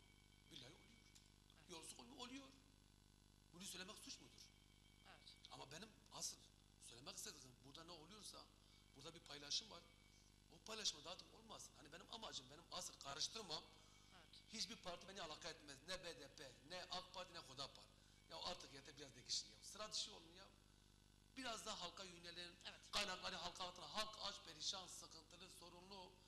defadır bu barış sürecinde de geç efendim hükümetin de özellikle şu an efendim e, cezaevinde olan Kürt Biz siyasetçileri adaylara dönelim. Sonra Evet. genel tespitlerimizi yapıp programı kapatacağız. Ben adaylara Çabuk gelmek çabuk istiyorum. kapatmayalım daha var daha Biz Ha, e, 50 dakikadır konuşuyoruz.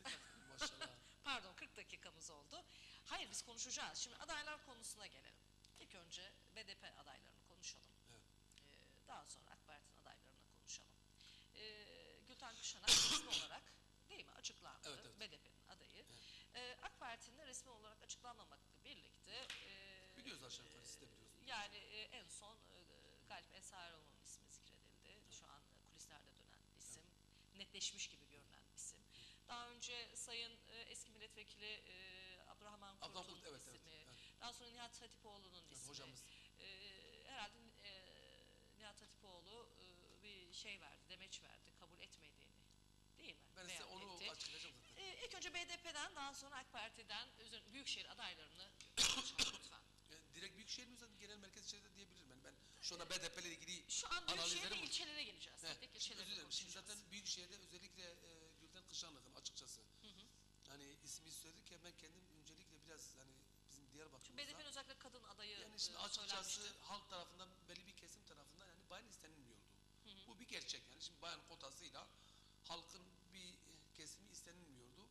Hele hele benim gibi bu seçimde Hudapar'la BDP'nin çatışma ortamına girip olaylar olmasına endişe duyan bir şahıs da Gülden Kışanlık ismini duyunca da çok korktum. Niye? Neden? Gülden Kışanlık biraz daha sivil siyaset yapıyor. Yani siyasi alanı çok ön planda. Yani iyi bir siyasetçi. Özellikle efendim Uludere ile ilgili. Ya mecliste bir konuşması var ya hangi erkek öyle konuşur? Ya Allah aşkına hele bir izleyin. Yani biz hani ben hem eleştirirken, bayan adayın eleştirirken Gülden Kışanlık'ın hani siyasi olarak hani bir kimliği ön planda olduğu için biraz daha sivil siyasetçimiz olduğu için hani eleştirirken de bir gerçeği de unutmayalım. Yani inan inan o meclisteki konuşmayı bir görün ya. Siz şehircilik anlamında mı kısıtlı E, gerçi diyorsunuz? e, büyük ihtimalle e, Sayın Fırat Anlı herhalde e, eş başkan olacak, yanlış Evet, olacak. evet, evet. O alanda olacak. Yani Aslında yine bir dönem onun daha çok ismi zikrediliyordu. Ee, daha seçim e, havasına girilmeden. he, o, yani özür dilerim o iki dönem önce benim zaten bir anketör olarak o sırada Sayın Fırat Anlı yüzde 91'di. evet. Sayın Osman Baydemir yüzde 6'ydı. O sırada hatta o zaman da zaten BDP'den adalarla ilgili bazı kişiler bireysel çıkar bazı kişiler kendi doğruları doğrusunda hani eleştiri yapıyor. Bu her zaman bir klasik olmuş ama her zaman da BDP adaları iyi çıkmış. Her zaman da BDP ve BDP'den gelen gelenek her zaman bütün seçimleri başarılı şekilde kazanmıştır. Ve Osman Baydemir gibi e, bana göre şu anda mesela Diyarbakır'da en çok başarılı gözüken zaten Sayın Osman Baydemir'dir. Ve Osman Baydemir'in olma yani e, karar verirken iyi bir karar olduğunu biz bunu. Yani sonuç itibariyle e, efendim hani bayanla ilgili, bayan kotasından ilgili şikayetler mesela ben görüşüyorum halkla. Mesela diyor ki ya e, Kürtçe diyebilir miyim bunu? Ya diyor Huarzi, diyor em dixwazin ki e, reis yemeği e Ahmedi bira mer be em mevdu her şkara emer o ki kudbi. Ya diyor ki benim belediye başkanım, bir şey başkanım en azından e, şey olsun ki en azından hani erkek olsun ki biz bir de cuma namazına gidelim. Şimdi bir reis bir şey demek şimdi bizim dini açıdan da bir ön planda var. Bizim bu e, gerçeğimizdir. Real bir gerçeğimizdir. Şimdi biz asla Diyarbakır'da ben bazı şeylere saygı duyarken bugün bir dinimiz var. O zaman şunu diyorsunuz. Evet. Diyarbakır'da siyaset erkek egemendir. Ya egemen olmaması lazım. Bak ben erkeklerin yani şimdi diyor ki bak Gülden Hanım inanın mecliste o yüzlerce erkek milletvekilinden daha erkekti. Ondan bir şüphem yok. Sadece hani benim hani önerim hani benim niyetim Yani yine yerel e, Diyarbakır'daki şehircilik yani anlamında, yerel Hanım anlamda olması daha iyi olurdu. bir erkek olması. Sonuçta oldu. Sonuçta da efendim başarı da olacak. Sonuçta o kaydan çıktı yani. Şimdi sonuçta hani bir saygısı da olmasın zaten. Ama e, efendim e, tabandan ve belli bir kesimde de eleştiriler var. Ha bu oy oranına da yüzde altı yedi gibi yansıyabilir. Fazla Size göre bu yansımaz. partinin seçimi miydi yoksa e, Efendim? Gülten Kuşanak bir partinin seçimi miydi, halkın seçimi miydi size göre yoksa? Onu ben fazla girmeyeceğim. Sonuç itibariyle yani hem yukarıdan hem içeriden farklı kararlar aldıktan sonra verir. Saygı duymak lazım. Evet. Kesin buna saygı duymak lazım ama ve saygı duyarken ben bazı şeylere saygı duymuyorum. Bir delegasyonun seçiminde bir haksızlık, bir usulsüzlük olursa, bazı idareler varsa, o idareler araştırılmıyorsa ben buna saygı duymayacağım, bunu affetmeyeceğim. Konuya geçelim. Evet. Buna geçelim. Peki AK Parti üzerinden, isimler üzerinden gidelim. Yani Yok, son durum görünen o ki AK Galip Parti Bey. şimdi tövbe söylemek istemiyorum. Kimi geçse de zordur. Yani büyükşehir Peki zordur. isimler neden çok zikredildi size göre? Ya şimdi zaten AK Parti yani özellikle Sayın size göre Nihat Hatipoğlu- neden kabul etmedi? Ya niye gelsin televizyon programı dünyanın parasını götürüyor. Ne işi var gene? Hocamız ben bunu özür dilerim ama ben ilk açıklarken ulusal televizyonda program yapıyor. Dünyanın parasını hak ederek kazanıyor. En azından gelip burada Indira Gandhi mi yapacak? Sayın Nihat Hatipoğlu gerçek anlamda dini program yapıyor. Çok ciddi paralar kazanıyor. Cümlenizi şöyle yumuşatalım o zaman. Siz iyi niyetinizle söylediniz gerçi. Evet, Hani paraya ihtiyacı olmayan, zaten bunun kazancını e, yaşayan biri diyorsunuz. Yani medyada, medyatik Bir bir, de insan. Diyarbakır'a gelirse e, bazıları gibi hoca zaten kesin kaybeder. Hani iyi oranda oy alsa da hocamızın daha bir yerel televizyona çıkıp program yapamaz. Evet. O şeyi iniş. Hani şimdi hemen parayı. Reytingler. O zaman şöyle diyelim. Ya para ismini yıpratmak istemedi size İstemedi, göre. istemedi. Yani başbakan da çok ısrar etti. Evet. Çok özellikle e, bir de farklı şeyler oldu. Kardeşleri, Peki Nihat falan. buraya gelseydi e, gerçekten hani siz diyorsunuz ya kazanmaz Ben isterdim. Hayır, dediniz ya kazanmaz diye. Ama oy oranını size göre ne kadar yükseltti? Yükseltebilir miydi Diyarbakır'da? 31'i çok geçerdi. Evet. Yüzde 31'i geçerdi. Diyarbakır'ın büyük bir sevgisi mi var Nihat Hatipoğlu'na? Diyarbakır'ın özellikle bir real gerçeği dedim ya bir yani dini inancı var, bir görüşü var. Ama diyorum ki yani büyük oranda ne kalsa bile kesinlikle yine kazanmayacaktı. Evet. Yani bu arada hatta bazı tanıdıklar da beni aradı falan sordu. Hoca bence gelmezse kendi yani yıpratmasa daha iyi olur. Yani kesinlikle şimdi büyük şeyler olup böyle buradaki bu alanda BDP'nin hani yüzde elli üzerinde oy alacak bir yere gelip sen burada yüzde otuz bir oy alasan tübe estağfurullah ya hocam sen artık ne yapacaksın yani? Daha Peki son isim, çıkamaz. son isim üzerine konuşalım. Son isim üzerine ne düşünüyorsunuz? Hangi isim? Son isim az önce konuştuk. Galip Ensarioğlu üzerinde Ha, değil mi bizim- kulisler şu an? Ha bizim e, BDP'nin e, Netleşti resim olarak. Şu an Ben- AK Parti'nin resmi olarak net değil. bizim BDP'nin efendim e, desteğiyle ticaret oda başkanı olan Galip Ensaroğlu'ndan biz bahsediyoruz. Çok da geliyor karşımızdır. Kesin de çok seviyorum. Ama bu gerçeği de unutmayalım. Şimdi Yani ben, altın çiziyorsunuz özellikle ya şimdi ben. Farklıyım diyorum ya. Biz klasik çektik. Burada farklı olmamız lazım. Evet. Sayın Galip Ensarioğlu ticaret odası seçimlerinde bizim BDP'nin gelen e, hani geçmiş şeyle gelen bir arkadaşımızdı. Tepsi gibi ticaret odası başkanı yapıldı. Evet. AK Parti'ye sunum yapıldı ve o seçim sürecinde AK Parti oy veren nokta nokta değil diyor. Bana göre Sayın Galip Ensarioğlu, ben Sayın Galip Ensarioğlu bir şey demiyorum ha, saygı diyorum, çok hoş bir arkadaşımız. Ama Galip Ensarioğlu o koltuğa getiren kişiler bence utanmalı ve ondan hesap sormalı. Yani o hangi menfaatlerle oraya efendim getirmişse ben onu demek istiyorum. Sayın efendim Galip Ensarioğlu çok başarılı buluyorum. Yani başarılı derken o benim eleştirim alanında da çok başarılı. Ama gerçek olarak hani yani vitrin hani olabilecek Abdurrahman Kurt mesela bana göre çok iyiydi. Yani benim Nihat Hatip'ten sonra mesela Abdurrahman Kurt'un olmasından Size göre taşıyor. neden? Çünkü o da e, özellikle bu siyasi e, çözüm sürecinde katkıları oldu e, süreçte. E, Abdurrahman Kurt'un çok Abdurrahman. Kurt'un temasları oldu. Size göre neden Abdurrahman Kurt değil de Ensarioğlu Belki? Abdurrahman Kurt efendim Kayapınar'da olacak. Belki Abdurrahman Kurt İlçelerde mi değerlendirilecek? olmaz. Belki şimdi Büyükşehir o ki kim olsa kazanmıyor. Fa farklı takdir olabilir yani. Şimdi ben sonuç itibariyle diyorum ki Kayapınar ve efendim e, Yenişehir'de normalde yani farklı bir durum var.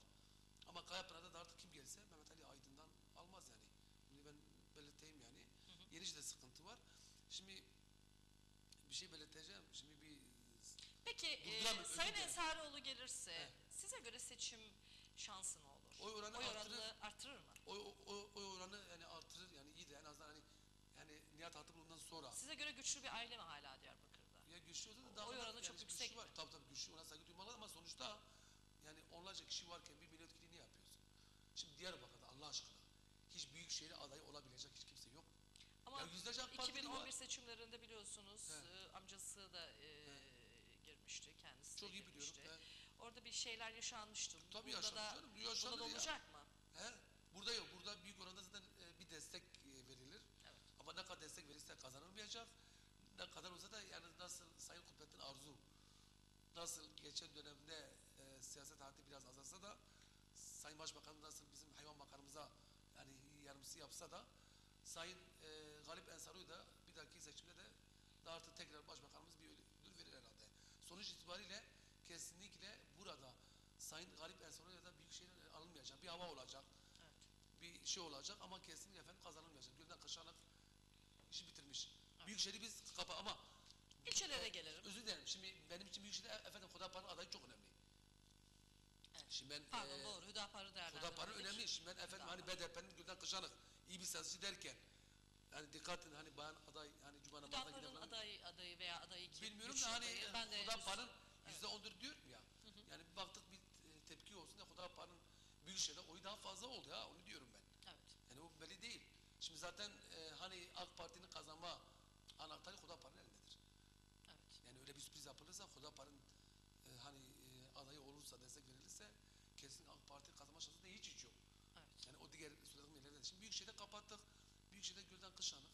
Yani BDP ile. Hüdapar'ın e, aday konusunda bir desteklemesi gündeme gelebilir mi diyorsun? Belli olmaz ama zannetmiyorum. Hudapar hani e, hani bazıları bazı şeyleri takmaya etseydi ben zannetmiyorum. Evet. Zannetmiyorum da. Büyükşehir'i kapattı bu arada. İlçelere gelelim, büyük merkezlere gelelim. Kayapınar'da BDP'nin e, adayı ve e, AK Parti adayını nasıl görüyorsunuz? Aday adayları henüz e, Geçi netleşmedi. daha AK Parti aha. Şimdi ben BDP'nin son e, delege seçimlerinde benim seçim öncesi bir de hani analiz ben kendi zamanımı yani çok e, dar bir zamanım olsa da e, şey çalışması yaptım efendim. Hani Kayapınar'da, Sur'da, Bağlar'da bir de efendim Yenişehir'de hem e, delegasyon seçimini takip ettim. Kayapınar'da, Kayapınar da büyük bir yer. Kayapınar Diyarbakır'ımızın, Ahmet'imizin en büyük Yeni yüzü. para gelen yeridir. Yeni şehirleşiyor çünkü. Yeni yerleşiyor, yeni binalar kalkıyor. Bir pere biner ana be. Bir pere biner ana be. Parası biner kalkmaz.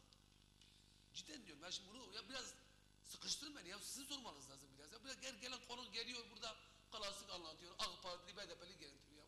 Sıkıştırın ya. Biraz yolsuzluktan kırgızdan bahsedin. Kayapınar'da indirgandı var. Kim geli götüreyim? Yani şimdi bir kere bir binaya indirgandı yapmazsan bina kalkmıyor, kalkmıyor maalesef. Ha bunu derken özür dilerim ben biraz ön plana bunu alıyorum ki bari bundan sonra az olsun. Kayapınar'da BDP'nin adayı. Adayım Mehmet Ali Aydın, Sayın Mehmet Ali Aydın ile ilgili ben Evet. şimdi e, Güçlü görüyor musunuz? güçlüdür. Şimdi ben e, hani analiz ederken delege seçiminde Kayapınar'da AK Parti'nin de çok küçümsenmeyecek bir oy oranı olmuştu değil mi 2009'da yanlış mıyım? ben yoldan geliyorum da şimdi öncelikle ben BDP'nin adayla ilgili konuşayım. Şimdi delegasyon seçiminde ben ilk üçü önceden bildim. Evet. Şimdi e, hani bu çok zor bir şey. Anketleri bir ayrıdır.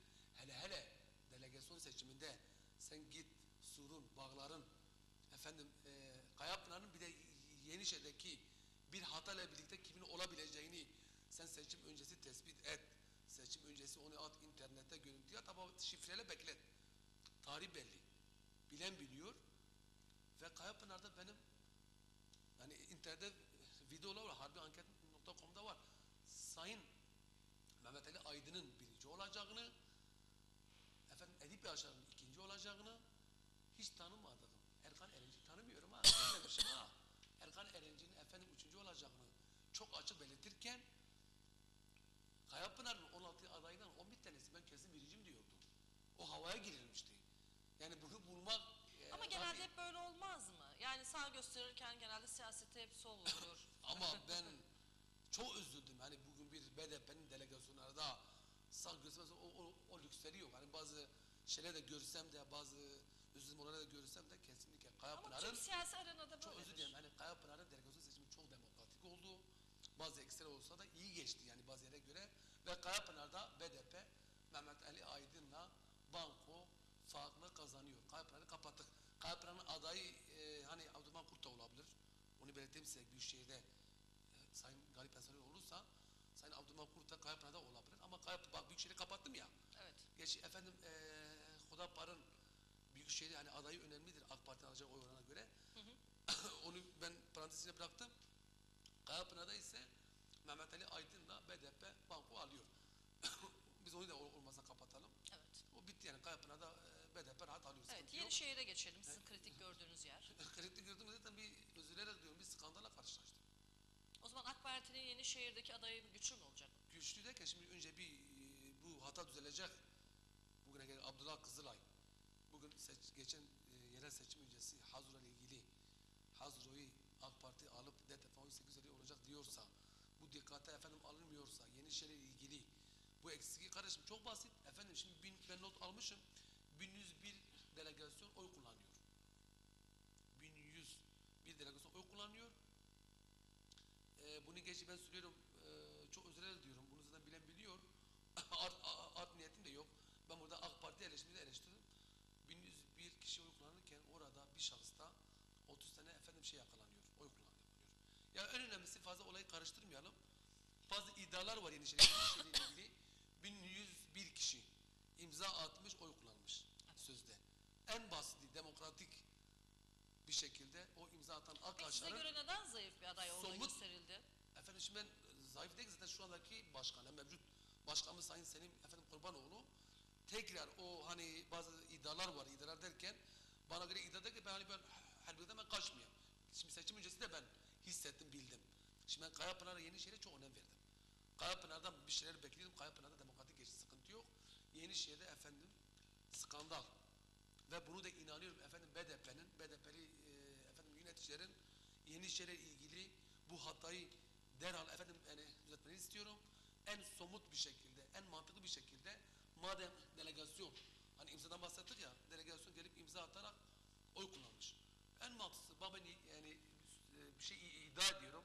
Allah vekil eğer 30 kişi 25 kişi bak 15 oyla ha. Şimdi e, benim söylemek istediğim şimdi e, efendim şimdi Yenişehir'de e, Sayın Selim Kurbanoğlu 368 Abdullah Efendim Akgün 353 Eşref Güler e, 167 aldı. 15 oyla Selim Kurbanoğlu oluyor. Ama orada ben iddia ediyorum oradaki imzalar karşılaşırsa bu haksızlık efendim giderilir. 1101 oy kullanan delegasyonun zor değil. Delegasyon hepsi partilidir. Bunu acilen, acilen BDP'li öz yetkililer, onlara ben özellikle ben efendim e, sürüyorum efendim sesleniyorum. Yenişehir'deki bu olayı mutlaka çözsünler. Delegasyonda imza atan arkadaşların kim oy kullanmışsa ona tekrar çağırıp imzalar karıştırırsa bu olay efendim çözülür. Yoksa bu e, skandal, bu olay büyür. Ben Abdullah Kızılay olarak da ben bu olayın peşindeyim. Ve bu olayı efendim ben efendim bırakmıyorum. Yani senin başkanı e, seviyoruz. Çok da ilgili birisi. Kendisi de beni sever. Ama benim kesinlikle ben Lütfen bir yudum su alın. Rahatsızsınız herhalde. soğuk da almışım.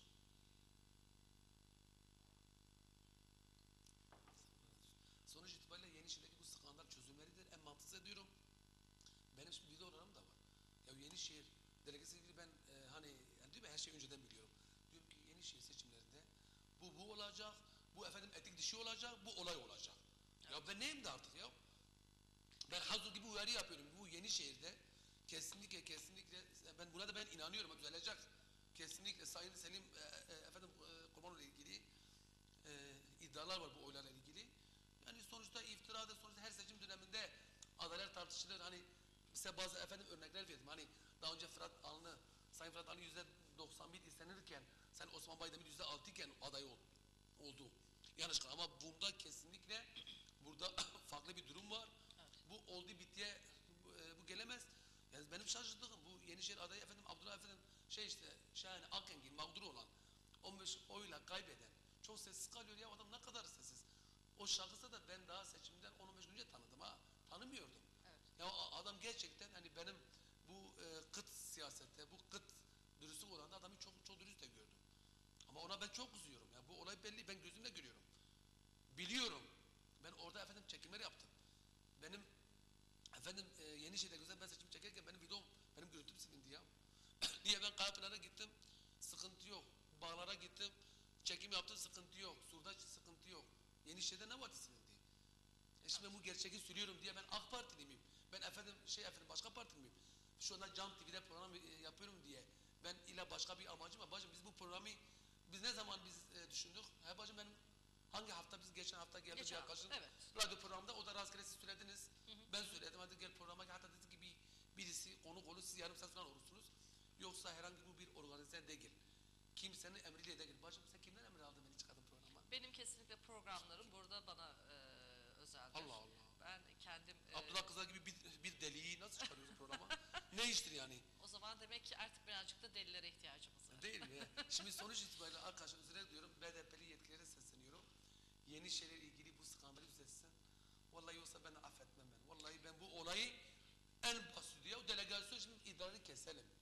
Seçim Şimdi AK öncesi Parti'nin çalışma Yenişehir AK adayına Parti'ye geçelim. geleceğiz ya. Kazanan burada BDP'nin kazananlarıyla biz konuşalım. AK Parti'ye geleceğiz ya. Yenişehir'i burada Evet. zayıf görüyorsanız AK Parti'nin gücü Geleceğim. artacak. Şimdi Selim Kurbanoğlu eğer değişmese herhalde karar alınmış herhalde değişmez diye bir karar alınmış. Yeni şeyde AK Parti kazanacak. Evet. Ben bunu efendim iddia ediyorum. Yani aday kim olursa olsun mu yoksa aday güçlü olursa mı? aday da tabii efendim güçlü olursa. Evet. Yani en azından AK Parti'nin kazanma şansı efendim Yenişehir'de var. Şimdi senin başkanımız özür diliyorum. Çok saygı duyduğum birisi O ya. zaman sizin teorinize göre şu olabilir Ama diyorsunuz tüm ki teorilerim doğru çıkıyor. Ha, komplo E teorisi. tabii biz burada teori yapıyoruz. Evet, tabii. daha Ama doğru çıkıyor. Ben ne diyorsam-. E. Seçimden sonra göreceğiz. 30 Mart günü Evet. göreceğiz. Yani- E, o zaman AK Parti dediniz ya e, Kurt Kayapınar'da Evet. veya başka bir ben- değerlendirilebilir dediniz. o zaman burada da değerlendirilebilir. Yenişehir'de de değerlendirilebilir. Sizin Yok yani e, ye- e, Yenişehir'de AK Parti'nin hani şeyde güçlü bir aday e, olursa Evet. hani bunu bak bunu burada ben televizyonda efendim ben açıklıyorum.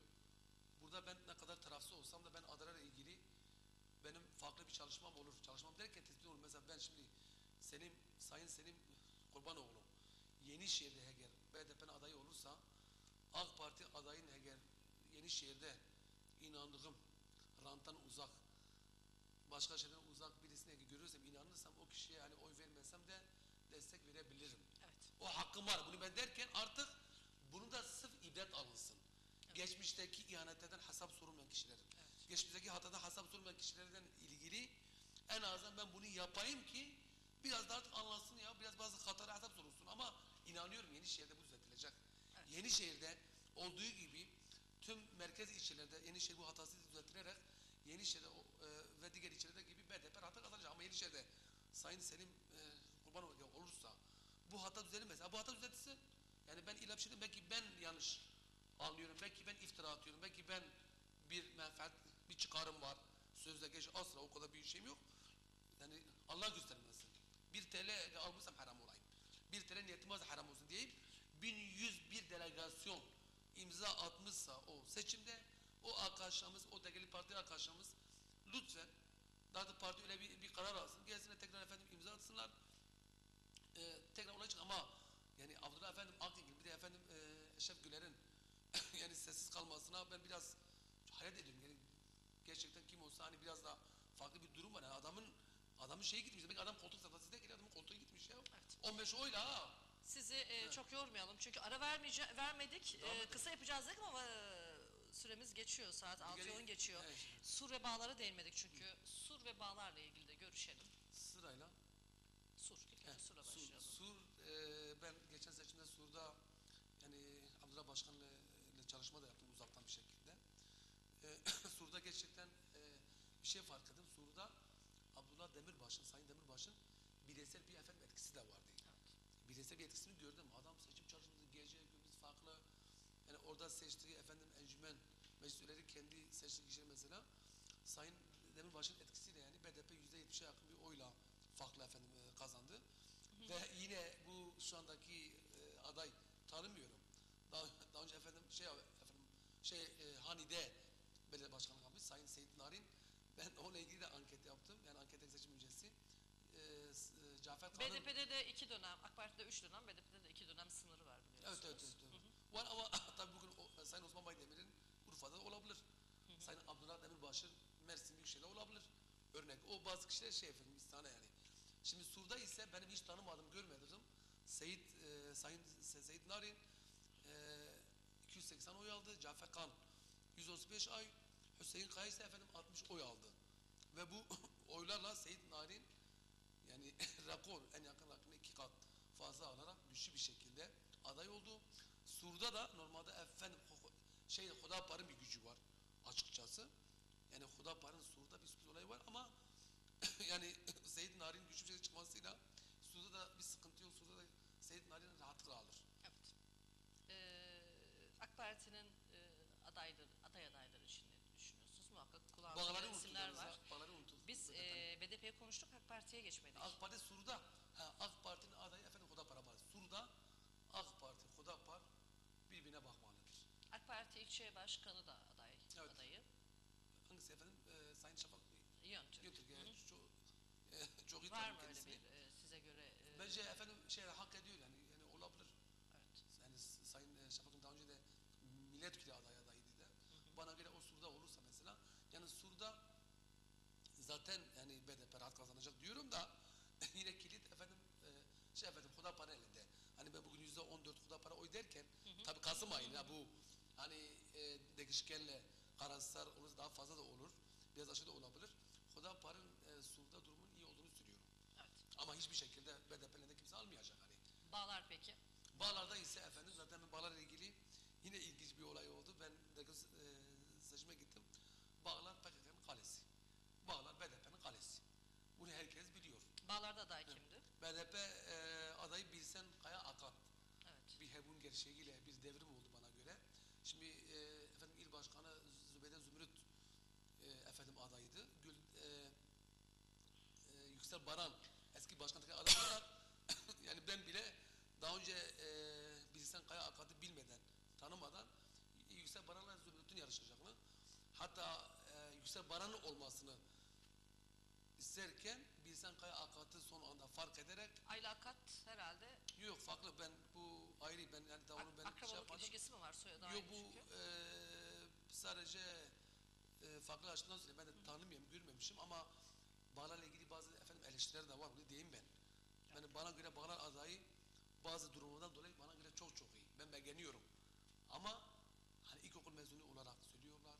Bu nasıl belediye yönetiminde bazı iddialar da var, bazı şeyler de olacak. Ama Aslında sonuç itibariyle sonuç önemlidir. Genelde bağlarda hep kadın aday var. olur Kadınlar bana var. göre de başarılı olacak ve Bağlar'da da efendim e, BDP rahat kalacak. Sayın Bilsen Kaya Akat da bana göre en iyi e, adaylar yani ilk üç arasında. AK Parti e, nasıl görüyorsunuz bağlarda? AK Parti yine orada bağlarda bir şeyler yapacak hani gene de artık. Yani orada ne yapacak AK Parti'den orada o kadar para var. Yani, yani orada AK Parti yüzde efendim girmişi bulamaz. Yani o da geç adaylara bağlıdır da. Ya AK Parti, şimdi benim söylemek istediğim Yenişehir dışında hiçbir şey yapamaz.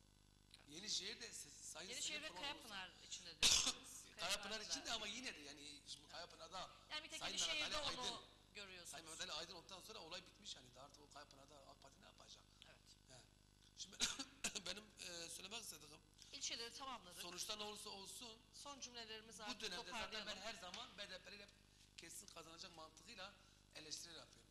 Bu defa farklı olsun. Zaten adı bu barış süreci Sayın Başbakanımız Diyarbakır'a tarihi bir gün. Göre tarihi bir gün. Şimdi e, Kürdistan bölgesel lideri Sayın Mesut Erzani, ülkenin efsane sanatçısı Sayın Şvanperver Diyarbakır'a gelmesiyle tarihi bir gün oldu. Yani kimse düşünmesin ha. Sayın Başbakan ziyaretiyle yok AK Parti tamam bayrak vardı, flamalar vardı, seçim propagandası falan gibi yani tam yani 30 materyal seçim öncesi olmazsa biraz hani eleştiri kişilere de hak veriyoruz. Sonuç itibariyle çok değişmez. Şimdi o AK Parti Sayın Başbakanı Sayın Öcalan'ı da İmre'de çıkarıp serbest etseydi bile yine de burada efendim kazanmayacak. Evet. Yani bu mantıkla olsa kazanmayacak. Ha, sonuç e, itibariyle benim söylemek istediğim anketleri ben aylık aylık yapıyorum. Yani bazı sürpriz adaylar olmasa BDP e, zaten alacağını kesin olarak ben belirtiyorum. Yenişehir'deki o hatayı düzeltirse bir sıkıntı olmaz. Evet. Ama Hudapar'la AK Parti herhangi bir ittifakla ilgili bir durum olursa bazı Farklılıklar olabilir diyorsunuz. Ama öncelikle e, seçimlerin daha sağlıklı efendim e, geçmesini bekliyoruz. Şimdi köylerin de bağlaması da şimdi sonuçta her fikir dışında olmayan arkadaşlar olabilir. Birbirimize kesinlikle efendim saygılı olalım. Hele hele bu süreçte, bu barış sürecinde yani e, öncelikle buna e, BDP'nin dikkat etmesi lazım. BDP'deki gençler, ben dün de e, vardı, BDP BDP'nin genç gençlik kongresi kongresiydim. Mükemmel. Hani bazı şeyler ayrı. Yani ben o gençleri görünce BDP'li gençleri ben gururlandım yani. Benim gerçek sahipleri. Ben bazı siyasetçilerden tiksinsem de bazı BDP'li geçinen veya seçilmişlerden ben tiksinsem de ben o BDP'li gençlerle ben efendim gurur duydum. Ve kesinlikle hani diyoruz hangi tarafsın hiçbir taraf değilim. Gerçeklerin yanındayım. BDP'nin mesela nasıl anlattım Bağla'da, Kayapına'da e, suda sıkıntı yok. Yenişehir'de bu sıkıntı var. Ben haksızlığın yanındayım, zulmün yanındayım. Yani sonuçta BDP kesin kazanıyor. Bir real bir gerçek var ama Yenişehir'de mutlaka mutlaka e, parti buna el atmalıdır. Ama şunu dediniz e, programımızın en başında. 2009'daki oy oranını yakalayamayacak dediniz. Yok kesinlikle yakalamıyor. Kesinlikle yakalamıyor. O bir gerçek. Yani burada hizmette eksiklik yaptığı için görüyorsunuz Ya değil hizmet değil. Şimdi sonuç itibariyle sanki AK Parti olsa da iyi hizmet mi yapacaktı? Hani onu ben diyeyim. Hani sonuçta e, hizmette eksiklik var. Değil yok. Hani zaten benim o bir anketimi hadan yanında hani halk artık yüzde yetmiş oranda sadece hizmet istiyor. Evet. Siyaset hizmet isteyen az olsa da sadece hizmet yani o kişi aday olsun, kendi bilsin, kendi taşısın. Hizmet, hizmet istikrarla ilgili. Bak benim projelerim var. Projemde ki mesela benim geçmiş projem geçi vardı. Benim e, dükkanım farklı bir durum oldu yapmadım. Bugün ben almasıyla ilgili mesela ben bugün herkese benim kapım açık. Herkese benim efendim e, kapım açık bugün. C- CHP, MHP'yi bahsetmiyorum zaten. Yerlerde hiç bahsetmiyorum. Sevmezsem de şimdi benim sonuç itibariyle efendim Hüdapar, BDP, AK Partili adaylar bana gelsinler. Benim kapım açık. Ama benim gerçeklerden kesinlikle taviz vermeden onlara gereken bilgiyi Diyarbakır, Diyarbakır halkımıza, Ahmet halkına gerçek bilgiyi ben paylaşırım. Kesinlikle ama bu seçimde kesinlikle arkadaşlar herkes birbirine efendim e, saygılı olmasını bekliyorum. Sonuçta ne olursa olsun Diyarbakır halkı kazanacak. Kaybeden olsa Diyarbakır halkı kaybedecek. Sayın Hatip Dicle'nin e, efendim asıl milletvekilimiz e, cezaevindeki açıklaması gibi Kürt halkı yıllarca bu bölgede çok kan kaybetti. Çok kardeşi kardeşe vurdular. Bu saatten sonra bugün efendim her fikir düşünce partide de komşumuz var, akrabamız var, müşterimiz var, yakınımız var. Birbirimize saygılıyorlar kardeşim ya. Evet. Ve e, bu arada bizi izleyen kesinlikle bak kimse art niyette beni efendim ben aramasın. Bir e, benim hayatım zaten efendim tesadüf. Anormal. Abdullah Kızılay kim olduğunu iyice araştırın.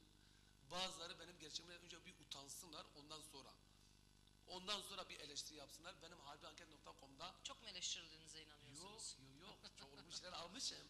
Bazı yerlere dokundum. Indirgandı, bazı musluklara dokundum. O musluklara efendim dokununca farklı şeyler oluyor. Bir de böyle bir şey diyeyim ya. Mesela kimisi bana der ya bu parti bu parti. Geçen yerel seçimde, şimdi bir skandal bir şey diyeceğim. Geçen yerel seçimde şu anda AK Parti'nin aday adayı olan bir şahıs. Geçen yerel seçimde ben kamera çekerken bana gelip diyor ki pis AKP'li. Bak bana pis AKP'li diye gören bir şahıs şu anda AK Parti'nin aday adayıdır. Büyükşehir'de mi? Yok ya ya skandal bir şey ya. Bende öyle bir malzeme var. Şimdi ben- Programdan sonra soracağım He, şimdi ben özür dilerim. Ben mesela efendim şeyde Hudapar derken benim siyahla bir sıkıntım var.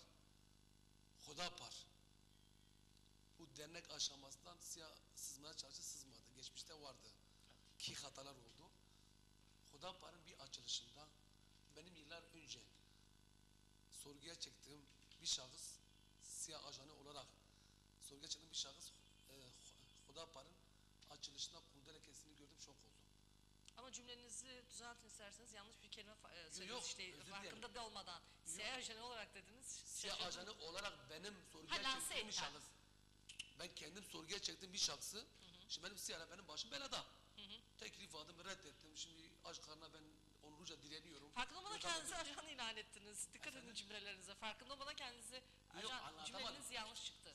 e, benim şahsım olarak siyah taraftan ajanlık teklifi ederek reddettiğim için kıt imkanı ben onurluca yine karşı duruyorum. Evet. Benim söylemek istediğim Hudapar'ın bir açılışında bak Hudapar'ın bir açılışında siyah ajanı olarak benim e, hani sorguya aldığım şahsı Hudapar'ın açılışında kurdele hareketini gördüm. Hani onunla ilgili de gereken bilgiyi ben Hudapar etkiline veririm. Evet. Benim kapım açıktır.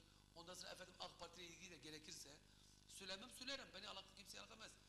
Yani pis AKP'li bana deyip de nasıl AK Parti aday adayı olur diye var böyle bir skandal. Yani Malzeme demek ki çok daha- siyasette maalesef böyle bazı ya ama bu kadar olmaz. Bir de artı e, özellikle benim Toparlıyoruz artık. toparlayan BDP'de e, önümüzde bir ay e, sonra bir e, seçim var. O seçim unutuluyor. Diyarbakır esnaf odalar seçimi var. Desop seçimi. BDP bu konuda yatıyor. Evet. BDP geçmiş dönemde bazı yöneticilerin bak iddia değil ispat diyorum isim vermiyorum. Bazı BDP'li geçinen yönetici arkadaşlarının aldığı e, rüşvetleriyle bireysel çıkarlarıyla bazı kişiler koltuğa getiriliyor ve o kişiler o partinin doğrultusunda o partinin emrinde olmadan farklı şeyler de yapıyor. Yani bir ay sonra tekrar ben aday değilim. Diyarbakır Tuhaffe Partisi'nin Esnaf Oda Başkanıyım zaten. Koltuğu reddettim. Hatta ben oda başkanı olurken şu andaki Kayapınar Belediye Başkanı olacak Sayın e, Mehmet Ali Aydın, şimdi az önce çok eleştirdim Sayın Selim Kurbanoğlu e, ve e, Sayın Yüksel Baran'la birçok yönetici benim esnaf odasında başkan olurken benim makama gelip beni tebrik etmek için gelmiştiler. O sırada ben koltuğa oturmak istemiyorum. Koltuk sevmiyorum ha. Koltuk seni götürüyor. Ya oturmayan beni vallahi zorla oturdular. Ha, zorla haklı olarak şok oldular. Ne dedim ben? Benim halkın iradesi seçilmiş koltuğa gelen Sayın Abdullah Demirbaş, Sayın Necdet Atalay, birçok Kürt siyasetçi eğer, eğer benim devletim onları koltuğundan eğer atmışsa Ben de bunu protesto edeyim. Koltukta oturmayayım. O gün koltukta ilk kez otur- 15-20 gün başkan olmuşum. Koltuk abi hani Kemal Sunal bir Zübük filmi var ya. koltuk meselesi. Ya bu acı gerçekten. Zübük var ya, acı gerçekten. Koltuğa bakıp falan vallahi oturmadım. Ya dedim koltuğun üzerine özür dilerim. Ya bir kazık bırakayım ya bir zincir atayım. Ya koltuğu pencereden atayım. Yani bir, bir farklı bir durum olsun. Ben farklıyım, her zaman farklıyım. Ondan dolayı sürecinde... Diyorsunuz ki ben sıra dışıyım, sıra dışı açıklamalarım var. Çok teşekkür ediyoruz hakikaten. Evet. Ee, sıra dışı açıklamalarınız oldu. Bildiğiniz, e, görüşlerinizi, bilgilerinizi bizimle paylaştınız. Beni izleme devam ediyorum. ediyorum Abdullah Kızılay'ı. Ee, inşallah seçimden sonra yine sizinle böyle bir e, görüşme Son bir şey gerçekleştiririz. belirteyim, özür dilerim. Özellikle Evet. bazı arkadaşların, belki bazı parti arkadaşların kalbini kırmışsam bilmeden ama kesinlikle benim söylediğim her şeyin arkasındayım. Hiçbir şeyi iftira atarak e, yok sokakta konuşulan değil, gerçekleriyle ben paylaşmaya her zaman hazırım. Evet, teşekkür ediyoruz. Ben teşekkür e, cümlelerinizi iddialı olarak değerlendirdim zaten Kesin. programımda. E, sizin cümlelerinizle sizinle birebir diyaloğa girip görüşmek isteyen varsa görüşelim. Kapım açık 24 Evet. saat. Benim telefonum açık. Bütün eleştiriye de benim harbianket.com açık. Bana küfür ederseniz aynı e, seviyede cevap verip çekilmeden silmiyorum hiçbir yorumu. Evet, çok teşekkür olun, ediyoruz. İyi akşamlar diliyoruz. Sağ olun, sağ. Pazar gününüzü bizle Sağ paylaştığınız için. Sağ olun. Sevgili izleyiciler artık seçime 4 ay kaldı. Ara ara seçimle ilgili diyaloglar burada Haftaya yine farklı bir konu ve konukla birlikte olmak üzere.